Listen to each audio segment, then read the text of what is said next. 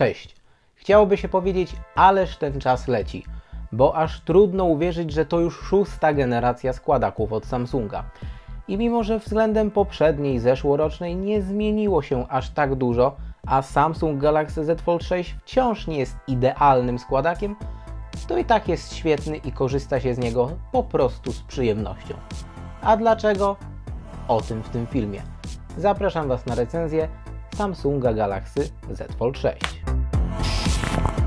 Na pierwszy rzut oka Samsung Galaxy Z Fold 6 może wydawać się wręcz identyczny jak jego poprzednik, bo faktycznie jest tutaj trochę punktów zbieżnych, ale gdy przyjrzymy się bliżej możemy dostrzec, że nowy model został dość znacząco przeprojektowany. Względem Folda 5 bryła szóstki została mocno wypłaszczona i niemal całkowicie pozbawiono ją krągłości. Całość stała się bardziej kanciasta, przez co trudno nie mieć tu skojarzeń z modelem S24 Ultra. Ścięte krawędzie, płaska rama i równie płaskie szkło z przodu oraz z tyłu.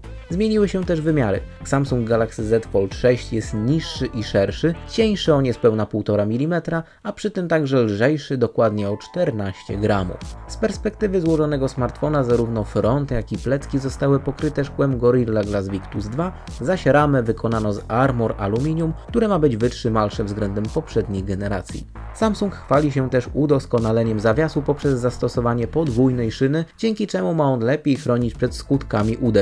I generalnie sam zawias spisuje się tutaj wprost świetnie. Zamyka i otwiera z wystarczającym oporem, nie sprężynuje i umożliwia precyzyjne ustawienie rozwarcia telefonu, co może nam szczególnie posłużyć do trybu Flex, o którym za chwilę. Trudno nie dostrzec też zmiany w postaci znaczącego uszczelnienia szczeliny pomiędzy połówkami po zamknięciu smartfona. Między innymi dzięki temu Galaxy Z Fold 6 ma certyfikat IP48 z dodatkową odpornością na pyły zamiast IPX8 jak poprzednio. Po rozłożeniu z kolei możemy dostrzec, że zagięcie na środku wyświetlacza jest nieco mniejsze niż w poprzedniku, choć nadal widoczne w niektórych sytuacjach i wyczuwalne pod palcem. Skoro już omówiliśmy konstrukcję, to teraz nieco o wyświetlaczach. Zacznijmy od tego okładkowego, czyli znajdującego się na zewnątrz. Jest to ekran Dynamic AMOLED 2X o przekątnej 6,3 cala, zatem urósł on o 1,1 cala względem poprzednika. Jego rozdzielczość to 2376 na 968 pikseli, a częstotliwość odświeżania to adaptacyjne od 1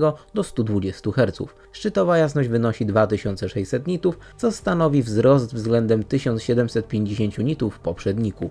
I tym co od razu muszę zaznaczyć jest fakt, że ekran zewnętrzny jest nieco szerszy i niższy względem Folda 5, co sprawia, że korzysta się z niego wygodniej, ale niestety to wciąż nie jest tak naturalne jak korzystanie ze smartfona o nazwijmy to standardowych proporcjach wyświetlacza. I z jednej strony zewnętrzny ekran Folda ma ten plus, że łatwo objąć go jedną dłonią, ale z drugiej trudniej sięgnąć na górę ekranu, a niektóre elementy interfejsu, w tym klawiatura, zdają się być trochę za wąskie. Poza tym jest to po prostu bardzo dobry wyświetlacz. Kolorystyka, kąty widzenia, jasność minimalna i maksymalna, wszystko gra tutaj tak jak powinno i nie daje mi żadnych większych powodów do narzekania.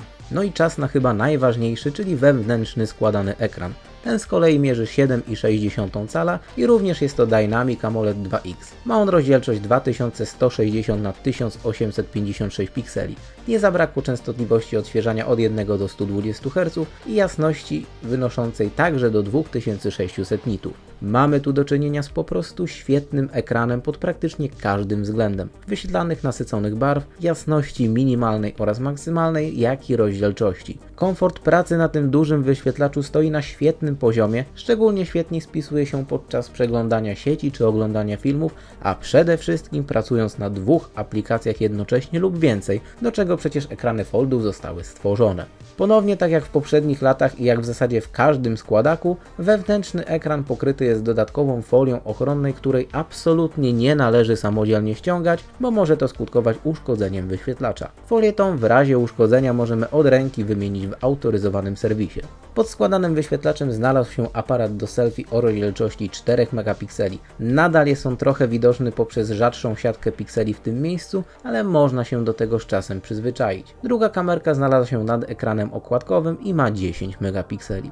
Oba ekrany pozwalają na wyświetlanie Always on Display, przy czym ten zewnętrzny może wyświetlać je z tapetą ekranu blokady jak model S24, z kolei wewnętrzny wyłącznie na czarnym tle. Na lewej ramce znalazł się czytnik linii papilarnych zintegrowany z przyciskiem zasilania. Możemy zdecydować, czy będzie on aktywować się dopiero po naciśnięciu, czy za każdym dotknięciem. Co do jego działania, nie mam zarzutów. Przez większość czasu działa bezbłędnie, celnie i bardzo szybko, dosłownie ułamek sekundy po dotknięciu. W ramach alternatywy jest rozpoznawanie twarzy, ale oczywiście realizowane tylko w 2D z użyciem aparatów do selfie. Wysoką wydajność Folda 6 zapewnia procesor Snapdragon 8 generacji trzeciej for Galaxy we współpracy z 12 GB pamięci RAM LPDDR5 i 256 GB pamięci UFS 4.0 w podstawowej konfiguracji. Alternatywnie dostępne są też wersje z 512 GB i 1 TB pamięci, przy czym ilość RAMu pozostaje ta sama. I niezależnie od tego, czy mówimy o codziennym użytkowaniu zwykłych aplikacji, czy bardziej wymagających zadaniach i pracy na kilku programach na podzielonym ekranie, wydajność ani na chwilę nie pozwala nam narzekać.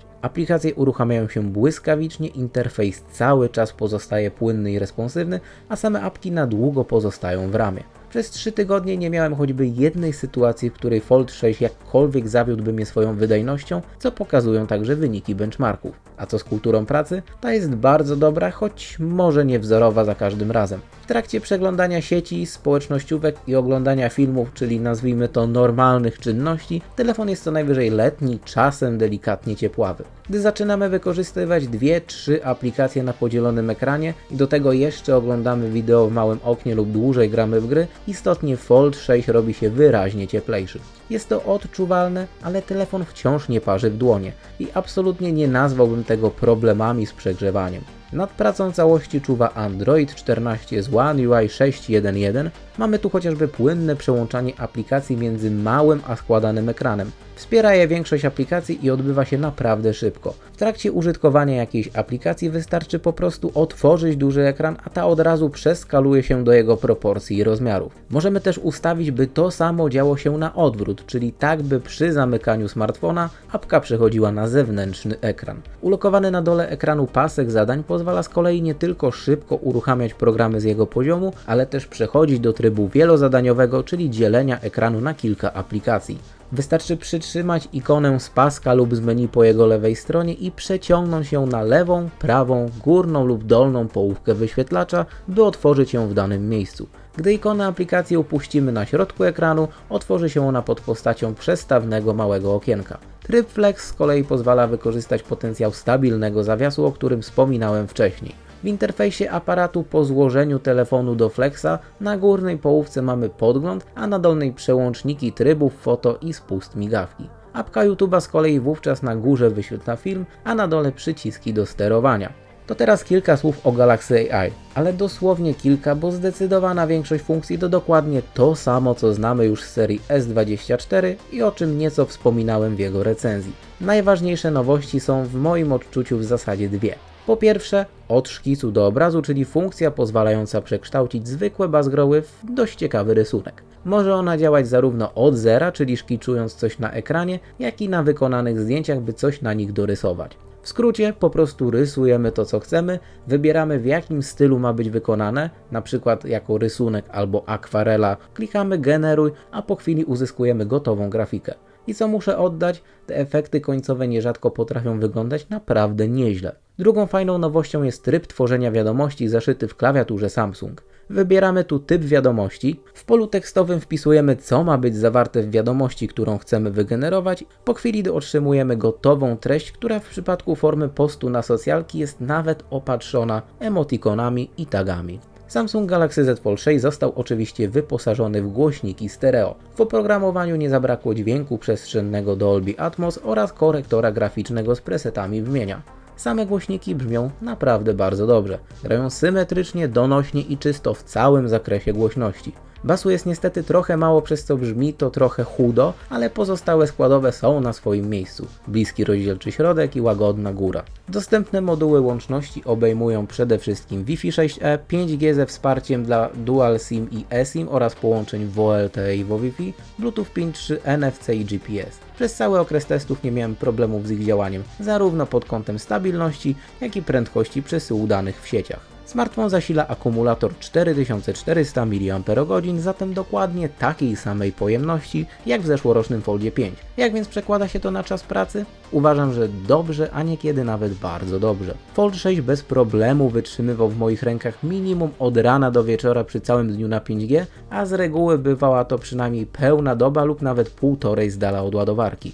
Czas na włączonym ekranie, czyli screen on time, oscylował w okolicach od 5,5 do 6 godzin w trybie mieszanym, około 4-5 godzin przy LTE lub 5G, natomiast na niemal samym Wi-Fi byłem w stanie już osiągnąć SOT na poziomie przynajmniej 6 do 7 godzin. Żeby jednak nie było zbyt różowo, to znów mamy tu ładowanie o mocy zaledwie 25 W. Oznacza to, że pełne naładowanie zajmuje około 1,5 godziny. Jest tu także ładowanie indukcyjne 15 W oraz zwrotne bezprzewodowe. Na koniec jak zawsze aparat i standardowo tu odsyłam Was do recenzji tekstowej. Tam znajdziecie dużo szerszy opis i więcej fotek wykonanych Foldem 6. Zacznijmy od tego, że zestaw aparatów jest tutaj identyczny jak w poprzednim Foldzie 5 i jeszcze Foldzie 4, przy czym też jest podobny do tego, co znamy z ostatnich Galaxy S24 i S24 Plus. Są tu zatem trzy oczka. Główny aparat 50 megapikseli z optyczną stabilizacją, ultra szeroki kąt 12 megapikseli 123 stopnie oraz teleobiektyw 10 megapikseli z trzykrotnym zbliżeniem optycznym i optyczną stabilizacją. No i właśnie, jakościowo aparat Folda 6 jest bardzo uniwersalny i ma dużo wspólnego z tym, którego testowałem w S24 Plusie jak i z poprzednikiem. W skrócie można by rzec, że mamy tu do czynienia z klasyką gatunku w wykonaniu Samsunga, czyli bardzo żywe, nasycone barwy, skuteczny HDR, świetna rozpiętość tonalna i plastyka, a także dobra szczegółowość na głównym obiektywie, ale już gorsza na ultra szerokim kącie i telefoto. Spójność kolorystyczna między wszystkimi trzema ogniskowymi jest naprawdę bardzo dobra. I generalnie fotki z Folda 6 nie dają wielu powodów do narzekania, ale nie jest to poziom tak wysoki jak chociażby w mocniejszym S24 Ultra czy innych ultra flagowcach. I trochę nad tym ubolewam, bo jednak mówimy tu o smartfonie kosztującym zasadniczo więcej od flagowców, więc chciałoby się oczekiwać możliwości na przynajmniej podobnym poziomie, chociażby w kwestii tego zbliżenia optycznego. Tytułem końca. Samsung Galaxy Z Fold 6 może i nie przynosi ogromnej ilości zmian względem poprzednika i wciąż nie mamy tu do czynienia ze stuprocentowym ideałem, ale nadal jest na wielu polach bardzo kompletnym składanym smartfonem, z którego korzysta się najzwyczajniej w świecie świetnie. Oba ekrany pod kątem jakości wypadają rewelacyjnie, wydajność stoi na kapitalnym poziomie, a oprogramowanie jest dopracowane dosłownie w każdym calu, włącznie z funkcjami dedykowanymi składakom, co chyba najważniejsze. Głośniki są dobre, konstrukcja solidna, a bateria z reguły więcej niż dobra. Zabrakło mi tu szybkiego ładowania i mimo wszystko jeszcze lepszego aparatu. Sama bryła, mimo kuracji odchudzającej, wciąż jest grubsza od konkurencyjnych składaków. Gdyby dać tu aparaty rodem z S24 Ultra, jeszcze trochę zmniejszyć grubość i trochę zmienić proporcje ekranu zewnętrznego, Galaxy Z Fold 6 byłby według mnie wręcz idealnym składakiem. A tak, mimo że do ideału nieco zabrakło, nie mogę mu odmówić, że po prostu jest świetny. No i to na dzisiaj tyle. I jak zwykle klasycznie mam do Was pytanie. Co sądzicie o Samsungu Galaxy Z Fold 6? Czy składane smartfony to ta kategoria sprzętów, które Was interesują i czy sami chcielibyście kupić taki smartfon? Czy jednak takie konstrukcje kompletnie do Was nie przemawiają i wolicie kupić klasyczny smartfon? Dajcie znać w komentarzach. Oczywiście będę wdzięczny i za łapkę w górę, i za subskrypcję na kanale z dzwoneczkiem, jeżeli jeszcze nas nie subskrybujecie. Pełną tekstową recenzję jak zawsze znajdziecie na tabletowo.pl i zachęcam do jej przeczytania, bo tam umieściłem znacznie szerszy opis możliwości telefonu. Dziękuję za oglądanie, do następnego filmu, cześć!